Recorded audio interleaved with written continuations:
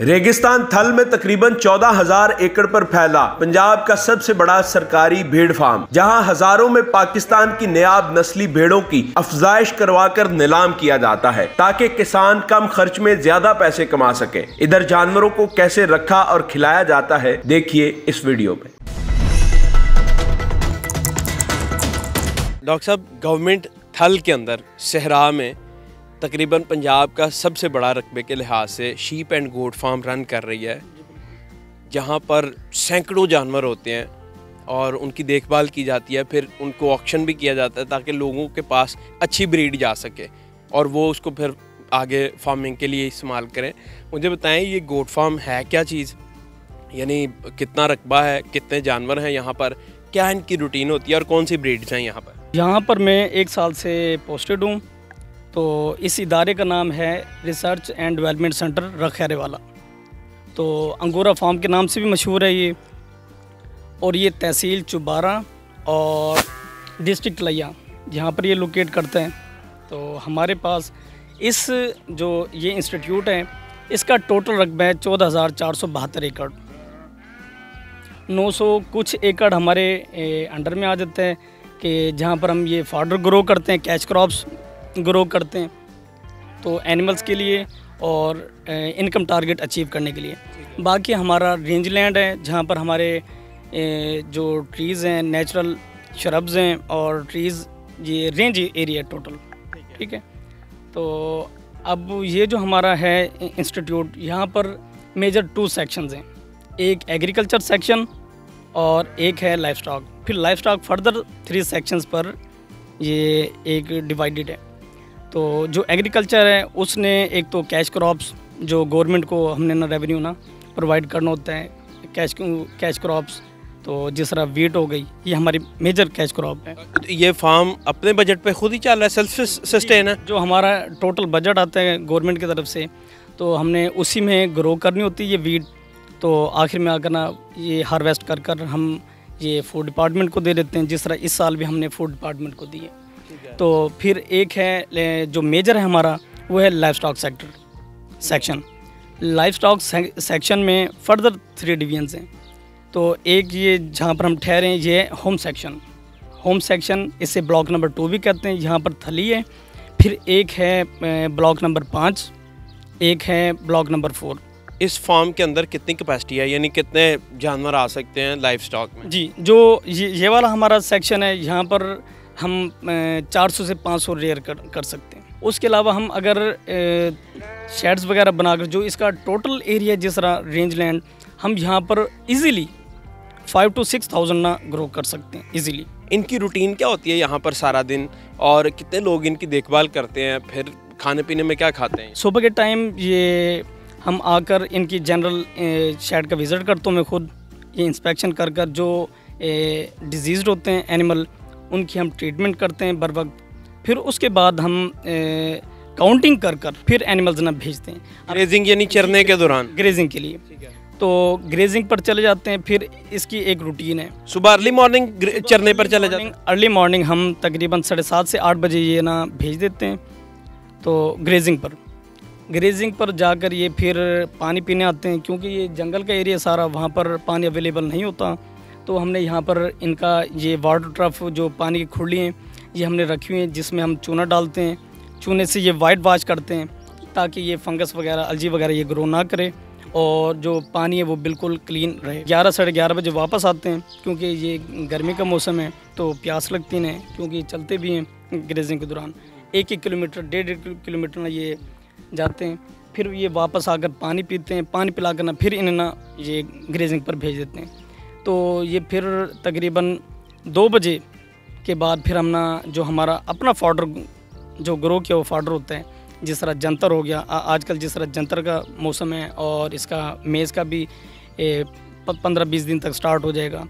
तो जो सर्दी है, सर्दियों में जो मेजर इनका फॉर्डर है, वो लूसन। अच्छा मुझे बताएँ कि एक यानी रेवड़ के लिए, या ऐसे कर लें, दो बकरियों के लिए या पचास बकरियों के लिए कितनी जगह रिक्वायर्ड होती है? स्क्वायर फीट इनका कितना रखा होता है? अगर किसी फार्मर ने ग्रो करने तो 100 एनिमल्स के लिए आपने एक 80 फुट लंबाई हो उस शेड की सौ एनिमल्स के लिए।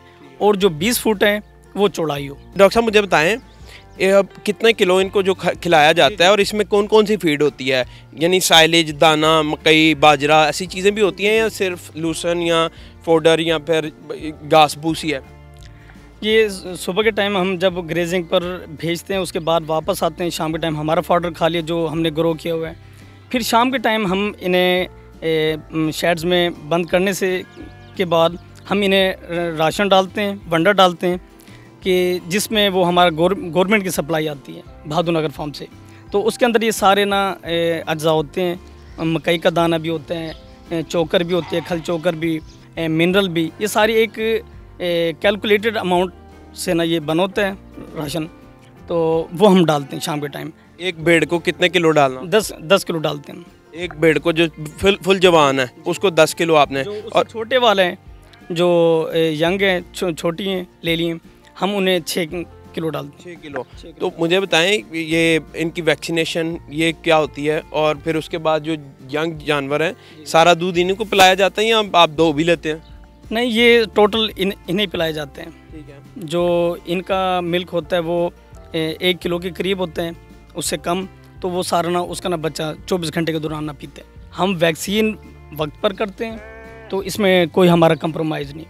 तो जो सीज़न की वैक्सीन होती है वो हम ना वक्त पर करते हैं और कोई एनिमल मिस नहीं करते हैं। कौन कौन सी करा हम जो वैक्सीन करते हैं इनकी इनकी ज़्यादातर एक मुँह खुर की करते हैं एक जहरबाद की एंटेरोटॉक्सीमिया की करते हैं एक जो सर्दियों वाला नज़ला होता है इसका सीसीपी उसकी हम वैक्सीन करते हैं एक होती है काटा जो इन बकरियों में आती है भेड़ों में वो होती है पीपीआर हम ये साल में दो मरतबा करते हैं। अगर हमने ये वैक्सीन कर दी है जिस तरह ये एफएमडी की हमने की थी मार्च में की थी तो उसके बाद हम छः महीने एफ़ क्या होता है? ए, मुँह खुर की वैक्सीन तो हम ये वैक्सीन छः माह के बाद करेंगे। मार्च में किया तो हम सितंबर में करेंगे। ठीक है। तो बेशक हुआ है या नहीं हुआ मुँह खुर आप वैक्सीन करें। हम हम ये वैक्सीन का मकसद ही बचाव करना होता है। ठीक है। मुझे बताएँ इनकी ब्रीडिंग किस सीज़न में शुरू होती है और कितने बच्चे अमूमन ये देते हैं।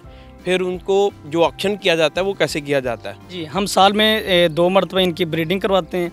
ए, एक ये जो हमारा मार्च का गुजरा महीना मार्च अप्रैल और उधर से हमने सितंबर अक्टूबर। तो अब जो इसमें मार्च में जो हमारी ब्रीडिंग होगी तो उसकी जो लैम्ब्स आएँगे जो बच्चे आएँगे वो आएँगे अगस्त में। ये पाँच साल का इनका पाँच माह का इनका जेस्टेशन पीरियड होता है तो पाँच माह के बाद ना ये बच्चा आते हैं। तो आता तो ऑक्शन कब करते हैं? ऑक्शन ये डिपेंड करता है हमारे पास कितने एनिमल्स हैं। सरप्लस जो हो जाते हैं हमारी जो फार्म की रिक्वायरमेंट है जो हमें गवर्नमेंट की तरफ़ से हदायत है वो साढ़े पाँच सौ जानवर हमने रखने होते हैं। तो जब वो उससे ज़्यादा हो जाते हैं हम उन्हें सरप्लस कहते हैं। या जो ओल्ड एज वाले जो बूढ़े हो जाते हैं जानवर वो हमारी होती है गवर्नमेंट की तरफ़ से हदायत कि आपने ये ये जानवर मिसाल के तौर पंद्रह हज़ार के वो बोली बीस हज़ार पर भी रुक सकती है सत्रह हज़ार पर भी वो बोली साठ सत्तर पर भी जा सकती है। अच्छा। ओपन पब्लिक ऑप्शन है। तो मुझे बताएँ कि ये आम मार्केट से सस्ते सेल करते हैं या महँगे सेल करते हैं? मार्केट से थोड़े से सस्ते होते हैं। जी और ये प्योर जानवर हैं लोग बड़े शौक से दूर दूर से आते हैं इन्हें ख़रीदने के लिए। कितनी फीमेल्स के साथ एक मेल होना चाहिए? अब जो चालीस भेड़ें उनके लिए एक नर है ना वो रिक्वायर्ड होते हैं। जितने भी किसान देख रहे हैं यहाँ फार्मर देख रहे हैं उनको क्या कहना चाहेंगे? मैं ये कहना चाहूँगा कि ये जो है शीप गोड आप रेयर करें पालें तो ये बड़ा मुनाफा बख्श कारोबार है। तो आप दूसरे जानवरों की नस्बत अगर आप ये पालेंगे, आपको ज़्यादा खर्च नहीं करना पड़ेगा। तो आपके सामने आपको सारे डिटेल से बताया कि एक बंदा भी जो हर्ड है, वो 200 एनिमल्स 150 एनिमल ले जाकर ना ग्रेजिंग करवा सकते हैं, पाल सकते हैं, उनकी खिदमत कर सकते हैं।